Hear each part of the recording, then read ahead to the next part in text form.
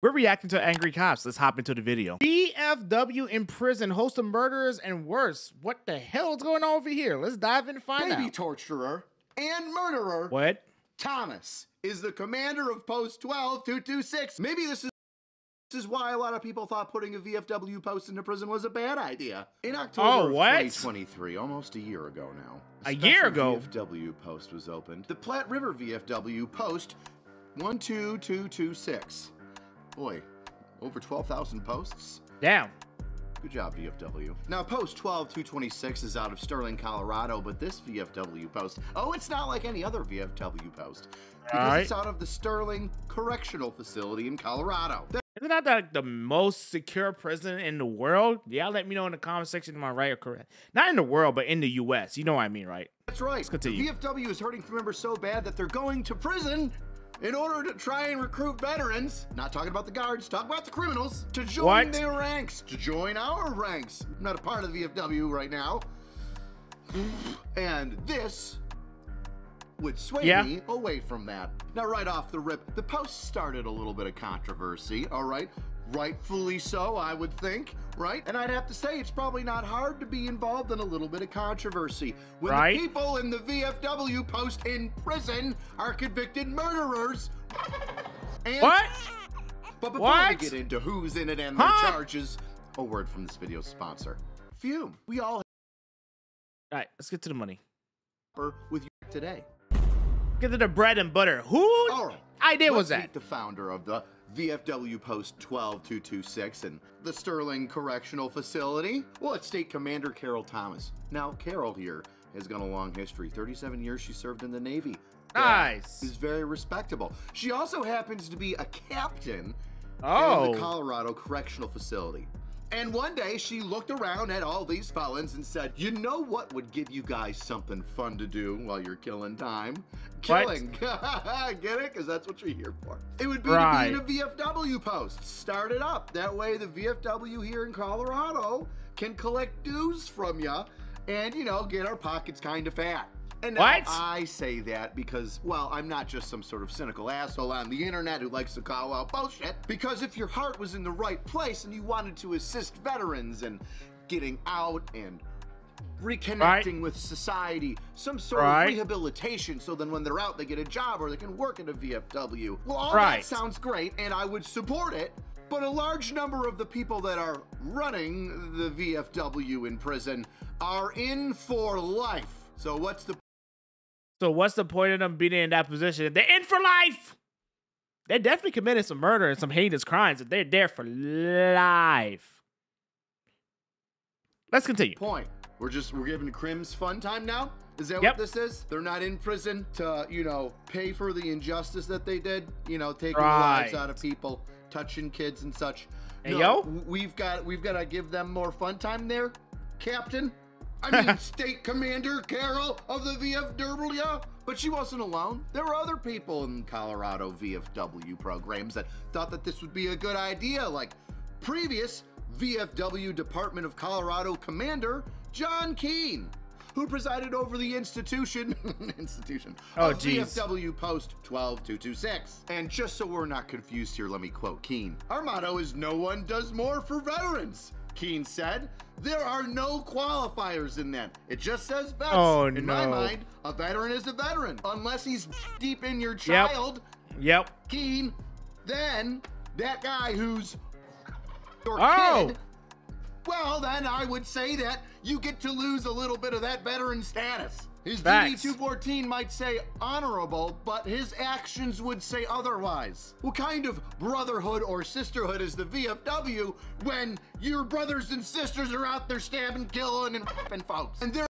Exactly. Where and we can't police them up because they already did the crime. They got to do the time. there are no qualifiers in that? Let me tell you something. Let me show you something. There should absolutely be a qualifier. Keene, you big, beautiful, large hearted, but somewhat retarded guy. If you're out there grabbing kids, children, Yep. little children's like under the age of 10 off the street, and then, Hey yo. yeah, maybe, maybe you shouldn't be a part of the VFW.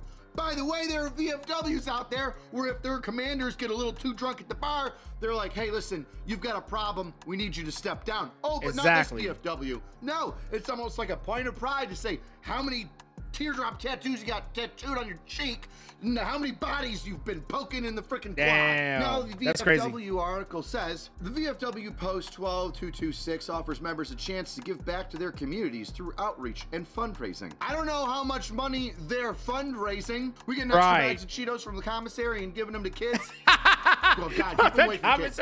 Keep them No, away why you had to kids. say that and joke? What community Oh are my they God. outreaching to? They're they're literally locked up. I guess the community in the prison? Ah? Ah?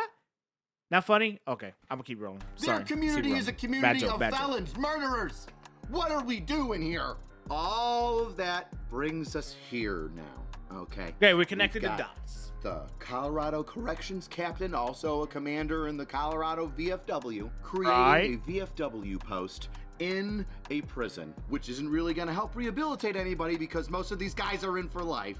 Following that, the then commander of all Colorado VFWs, Mr. Keene, is like, this is a great idea. Just because you're in prison doesn't stop your veteran status, which Damn, that's I that's a might disagree statement to say. with. And now we're going to talk about the people that are inside VFW Post 12226 at the Sterling Correctional Facility in Okay. Colorado.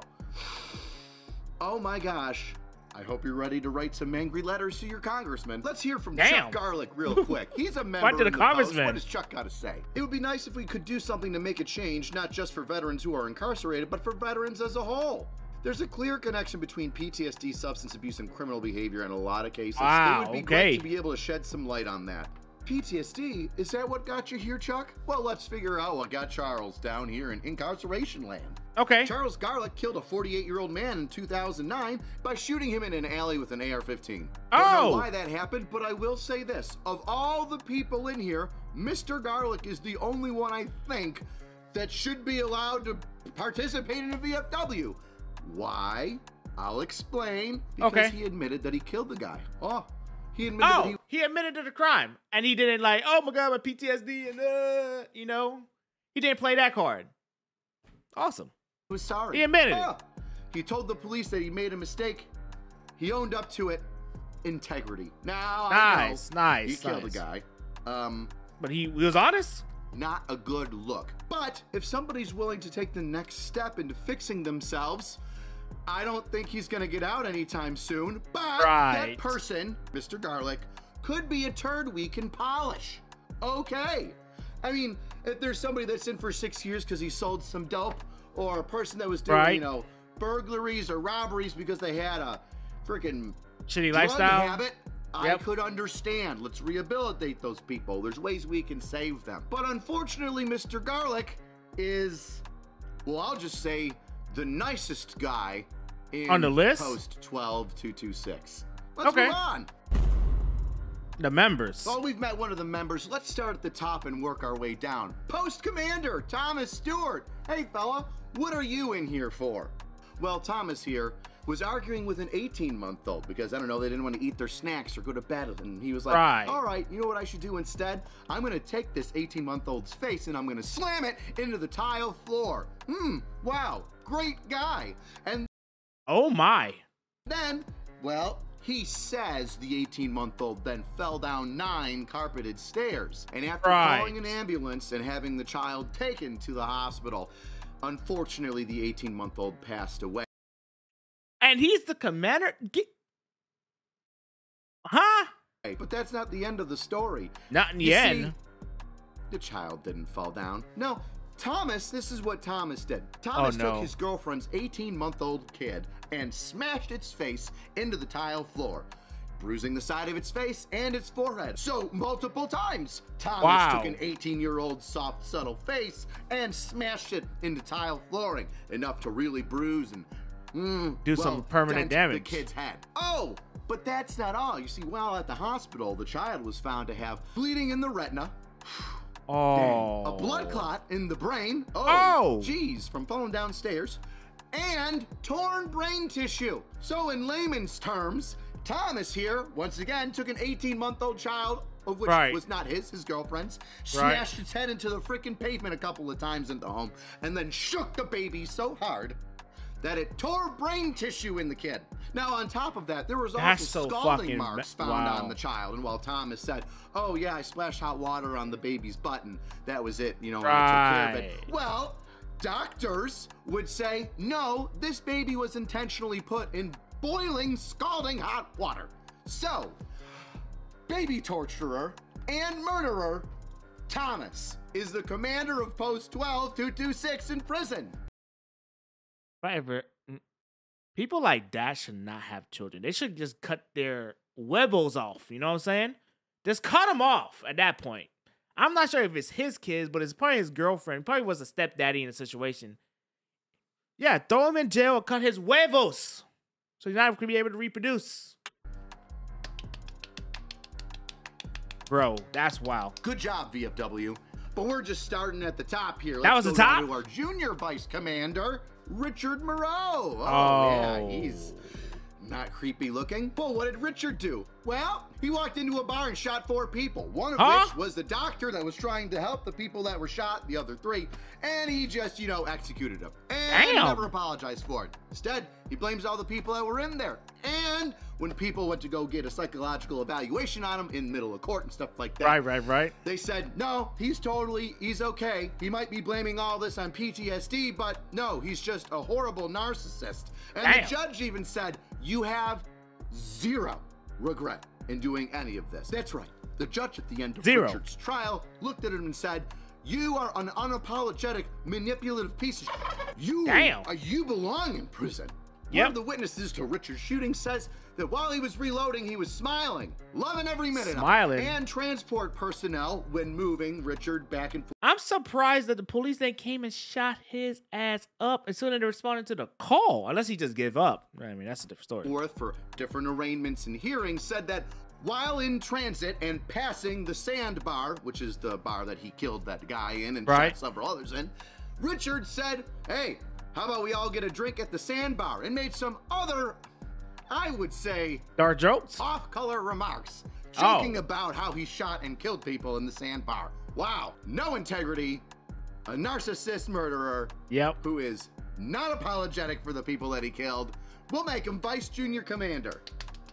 Good job, VFW. Oh, I'm losing breaks. I was watching member. this video, Ryan AC. Kruger. Hey there, Ryan. How are you? What's Oh. Ryan in here for? Well, Ryan was selling drugs at a local college, and a young lady, about 19 years old, was buying some weed and ecstasy from him so she could Right. sell it to her friends and Right. party a little hardy there in college. And Right. well, it's not something you should do, young lady. And Ryan here, well, he got a little paranoid one day and thought that the 19 year old female was snitching on him, talking Oh. to the police. So what did he do? Well, Ryan here brought himself and a couple buddies to grab this 19 year old female and murder her for the Damn. potential that she might be a snitch. Awesome. A Wow, okay. murderer. A 19 year old girl. Wow. Just starting her life out, even though she was, you know, selling a little bit of MDMA to her friends in college. Right, right. We should definitely kill her, right, Ryan? He should be in the VFW. I can understand. He just got upset that he was about to get his business all torn down. That's why he killed a 19 year old college student. That's fucking wow.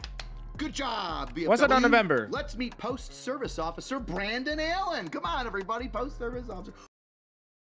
He just looks weird. He's one of those guys. I know y'all can't see it on the YouTube shot of things, but look at this guy. Yeah. Yep. What did Brandon do? Well, Brandon here made a little bit of a whoopsie by breaking into a Colorado school teacher's home and her for three Whoa. hours. He tied her up, beat her, suffocated her with the pillow numerous times, Huh? repeatedly her and told her he was gonna kill her for over What? three hours. Burglary, kidnapping, unlawful And, and the imprisonment, R word. torture. Oh, this guy, this guy should definitely get a second chance. Nah. Good job, VFW. Oh, and I've saved the best for last. AC, it cannot get worse than that. Can, can it get worse than that? Everybody welcome the post quartermaster, Timothy Alberts. Yeah, wow. Ugh. Well, back in 1982, he served a little bit of time for Right. a child. Huh? Oh, well, that was back in 1982. Oh, but somebody did it again in 1989. Yeah, 1989. Back to back? Decided to another kid. Got caught for that. But Timothy Alberts here is a changed man. Just because he a child in 1982 and got arrested for it, and then another child in 1989 and got arrested for it, doesn't mean he's a bad person. Did he did it third Even time? though his most current charges are because he and his brother had mounds and mounds of child oh, and children's underwear all throughout his home. you you disgusting fuck. Not only CP, but that.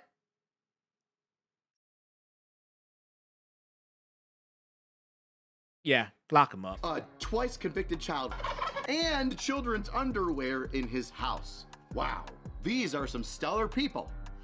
Good job, VFW. Yeah, Good great job. fucking job. And here we are. Thanking whole the list. VFW for its brilliant idea to allow a child abuser and murderer, a murderer, oh, a psychopathic murderer with Yep. zero conscience, a guy who likes to break into houses, torture women, Yeah. great, and a who two kids and then got caught with a boatload of child being kids underwear. Hmm, wow.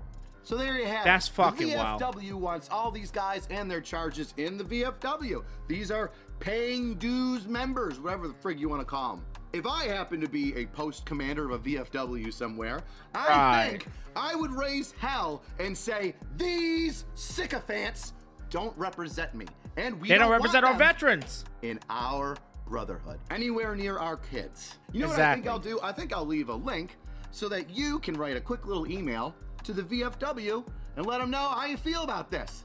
I'll also put a bunch of links down below so you can read each of these guys' stories and maybe send Oh, it to God. the VFW while you're writing that little nasty email to them, telling them is Yeah, this this is really not. what you want? Once again, I like most of the VFW. I like people in the VFW. I think if the VFW wanted to start a VFW in a correctional facility, it should be able to assist people that will eventually get, Get out, into the public. not stay Work for life. programs, making sure that they've got a job, rehabilitation, giving them a Right. community. So if they were involved with drugs, they don't fall back into that and then become once again trapped in the cycle of drugs, arrest, prison, drugs, arrest, prison. But this isn't where you start. Probably don't want to start with the guys that are diddling kids. Best way to support the channel is to buy yourself a shirt. E4 Mafia shirts. Everybody loves E4 Mafia. Everybody loves Crack House. Cheapest way to support the channel. Yeah, everyone loves the. Crack House. What do you think about this? Hmm? Hmm? Who's your favorite felon, huh? Out of these guys, who is your favorite example of what should not be allowed in the VFW, or why All of them. you shouldn't have a VFW? What more example Hmm? do we Which need, one's baby? your favorite? Is it the 18-month-old? Oh, I have no smasher? favorites. Oh, I no, no, sure no, no, really no, no, no, no, no, no, no. I have no favorites. We need to just close it down. Actually, think how we can. Why my camera? Come on, camera. Focus. Focus. Anyways, none of them are my favorite. I like him. He is on my top They're not like my us. favorite people. They're not like us. All right. See you next time, weirdos. See you next time, weirdos. See you next time, because that's that should This not be old allowed. crack house, a new episode is coming out this month. Get ready. This old crack house, it's almost done. It's almost done? I've got a whole bunch of video. It's gonna be like freaking half an hour, 45 minutes long. I have been watching this secretly off stream, but anyways, y'all guys, let me know in the comment section what you guys think about this. Like, comment, subscribe. Hope you guys enjoy my content. Catch you guys next time.